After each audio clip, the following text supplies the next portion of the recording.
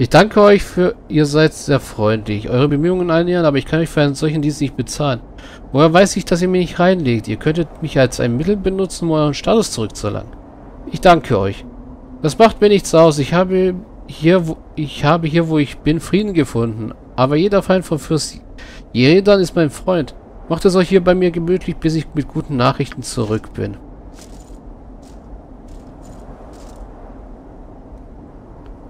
Ta, Vater setzt großes Vertrauen in euch, da ihr wahrhaftig darunter leidet, was passiert ist. Vertrauen ist ihm wichtig. Bitte enttäuscht ihn nicht.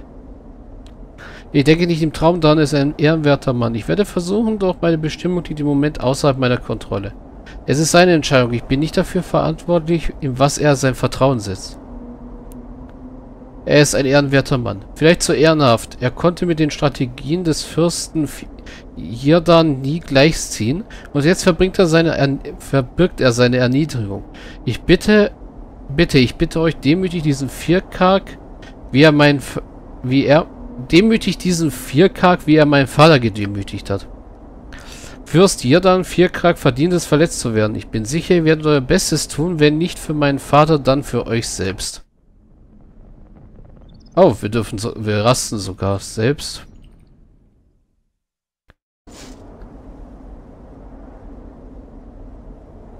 Ihr seid ein absonderliches Volk, dass ihr euch hier... Ah, lauft, versteckt euch, es gibt Ärger, ganz sicher. Beruhigt euch, Jung, wir wollen doch nicht unsere Gäste beunruhigen. Was ist los? Banditen, ich habe ges sie gesehen, sie kommen, sie versuchen ungesehen zu bleiben, aber ich habe sie gesehen. Sie sind schon fast hier, versteckt euch und lauft weg. Banditen, auf denen mache ich Kleinholz. Ich frage mich, was sie vorhaben. Ich werde am besten mal nachsehen. Wenn sie niemanden belästigen, sind sie belanglos. Ich werde mal nachsehen. Schön, schön, aber ich gehe nicht in ihre Nähe und es ist niemand sonst da, der das Haus bewachen könnte. Ich werde mich in den Hügeln verstecken. Es ist nicht so, dass ich mich nicht verteidigen könnte, aber dies hier könnte eine Aufgabe sein, die eher für unseren Gast geeignet ist.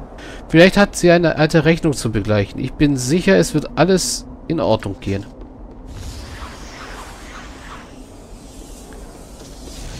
Es gibt viele Arten, mit Leuten wie euch fertig zu werden. Wir haben Gavins Kind, jetzt sind seine lästigen Freunde dran zu sterben. Können wir nicht reden? Warum habt ihr dieses friedliche Heim gestürmt? Was für eine Sorte Banditen seid ihr? Das sind ja auch Orks bei euch. Bei uns sind alle, die fürs Vierkack dienen, ungeachtet ihrer Rasse. Wenn das der Verwirrung dient, umso besser. Eure Vernichtung wird trotzdem weitergehen, ganz nach Vierkacks Wunsch. Euer Niedergang wird fortgesetzt mit der Ausmerzung von Gavin Windspear in eurem Namen. Sein Kind wird vor eurer Nase fortgebracht und ich frage mich, wer dafür verantwortlich gemacht wird. Fürst Vierkack beobachtet mich mit Vergnügen, wenn ihr wieder und wieder einen öffentlichen Tod erleidet. Das ist so viel mehr Unterhaltung als einfaches Töten. Aber womit habe ich, hab ich ihn gegen mich aufgebracht? Welches Verbrechen ist so außerordentlich? Dass eure Freunde im Unrecht dass eure Freunde im Unrecht getan haben, ist alles, was zählt. Die Größenordnung ist irrelevant. Jetzt seid ihr vernichtet und euer Ruf ist dahin. Rache an euch bedeutet, Ra bedeutet Rache an jenen, die in den Armen des Todes sicher sind. Okay. Räuber. Großmaul. Ork. Hm. Hm. Ihr braucht meinen Rat, nicht wahr? Ja, aber gerne. Wo? Uh. Augen. Kratz ihnen die Augen aus, ja! Hat das etwa wehgetan? Hat das etwa wehgetan? Euer geht mir langsam auf die Nerven. So, noch ein Räuber. Und das war's.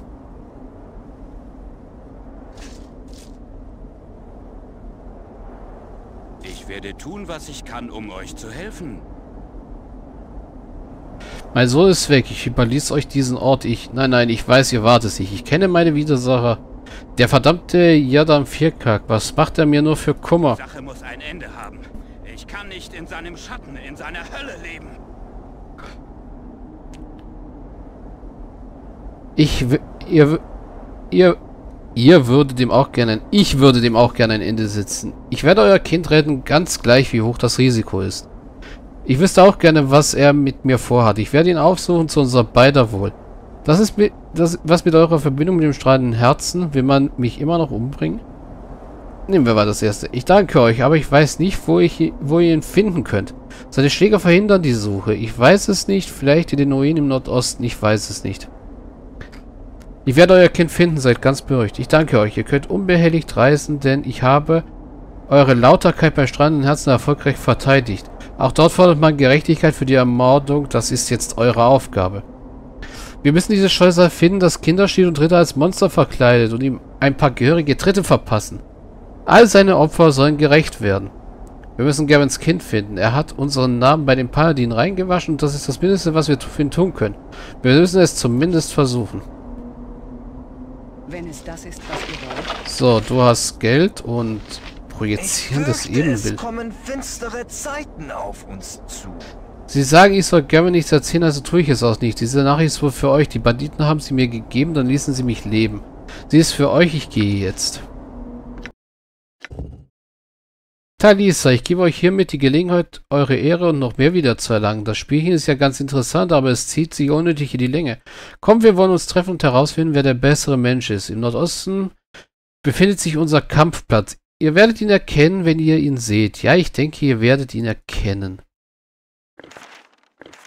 Mhm. Ah. Was für ein Zauber? Grad 7. Der Zauber erzeugt ein illusionäres Duplikat des Magiers, das scheinbar aus seinem Körper tritt. Er kann Zauber wirken, allerdings nicht körperlich angreifen. Jo, der klingt cool. Das ist unser erster Stufe 7 Zauber. Oh, wir haben sogar schon zwei Stufe 8 Zauber. Scheusal beschwören und ein Abbild. Ja, gut. Ja. Ah, was habt ihr noch so dabei? Geld, einen Ring. Ah, du hast ein Langschild getragen, das hat man gesehen.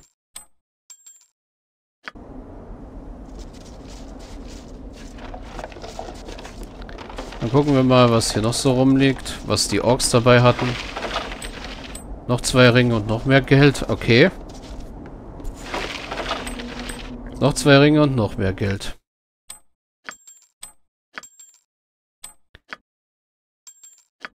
Und dein Gepäck ist schon voll, weil du viel zu viel mit dir rumschleppst.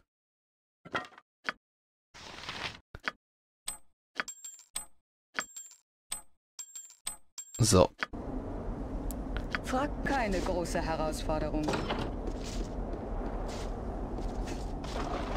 Hier hinten ist nichts mehr. In dem Fass ist nichts mehr. Ist übrigens dunkel draußen.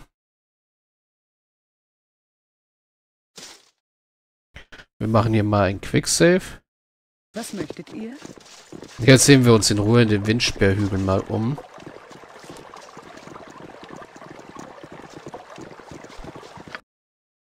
Bitte der Windsperrs, ja.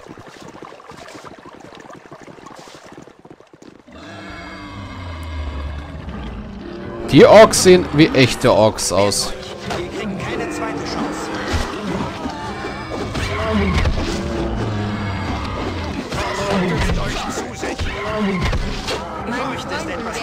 Ohne. Selbstvertrauen.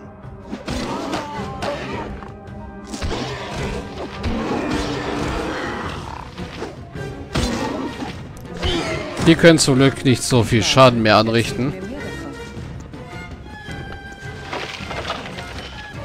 Geld und Edelstein und noch mehr Ringe. Also bei Orks können wir gerade ziemlich gut abgreifen.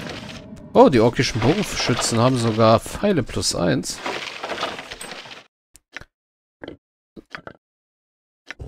Pfeile plus eins. Und noch mehr Pfeile plus eins.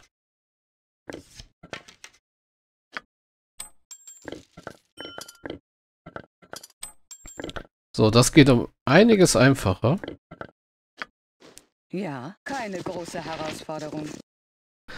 als ständig alles zu Yoshimo zu verschieben.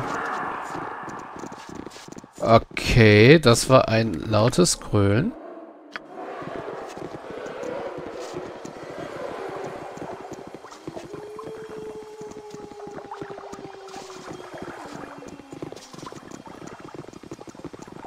Da oben ist auf jeden Fall Wasser.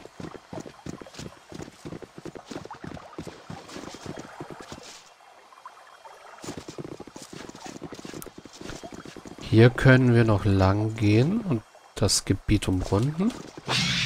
Oh, Kreischlinge. Hi Jungs. soll ich euch meine Fähigkeiten und mein Geschick vorführen? Etwas? Fort Auf Rache und zerratzt ihnen die Augen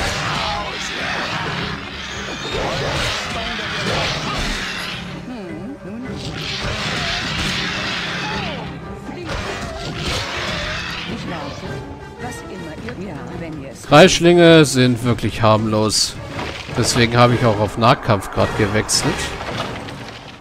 Mit meinen beiden anderen. freien Natur kann ich meinen inneren Frieden finden. Leider ist dieser wunderbare Zustand nie von langer Dauer. Ja, ja, hier, weil wir ständig irgendwelche Kämpfe austragen müssen.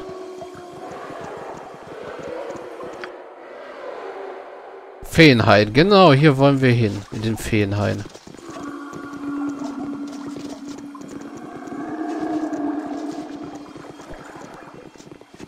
Die Natur weiß viel von euch. Außenseite, ihr seid keine von meinen hübschen Männern. Warum seid ihr hier?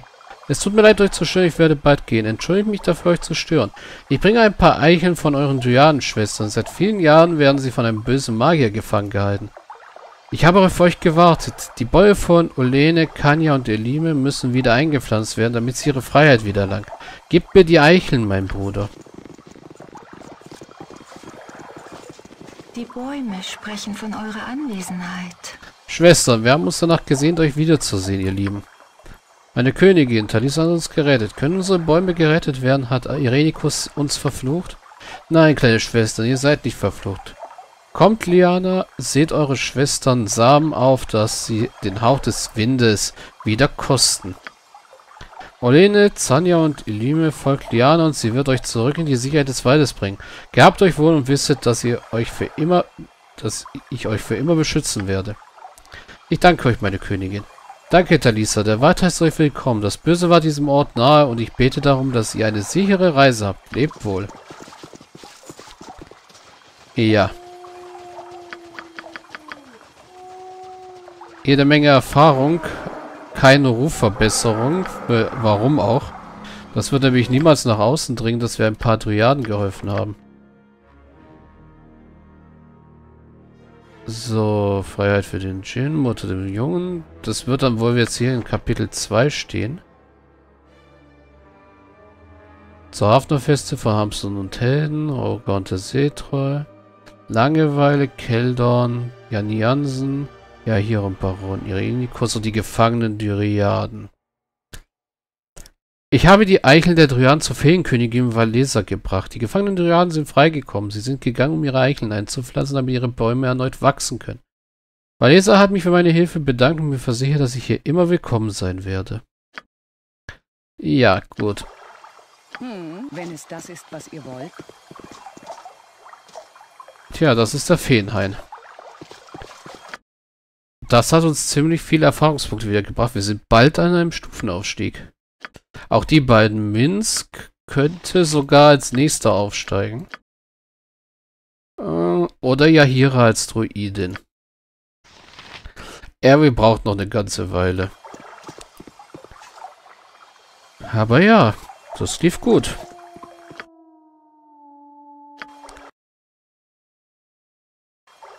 Ich bin bereit.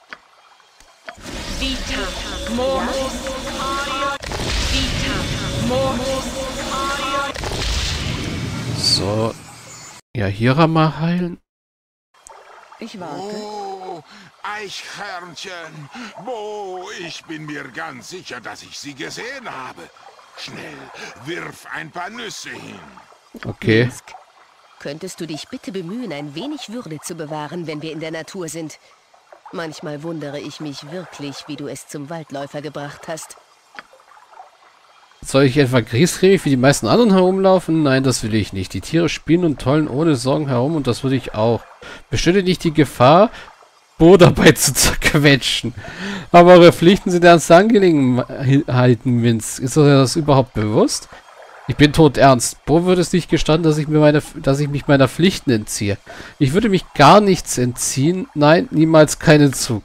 Bewundernswert, Minz. Aber leider verwendet ihr dieses Wort so, als ob ihr überhaupt keine Ahnung hättet, was es bedeutet. Äh, gut, nein, aber das klingt scharf und schmerzvoll und normalerweise habe ich vor so etwas wie, habe ich mir so etwas für die Typen, hebe ich mir so etwas für die Typen auf, die den Eichhörnchen Nüsse stehlen. Gut gemacht, Minsk, weiter so. Ja.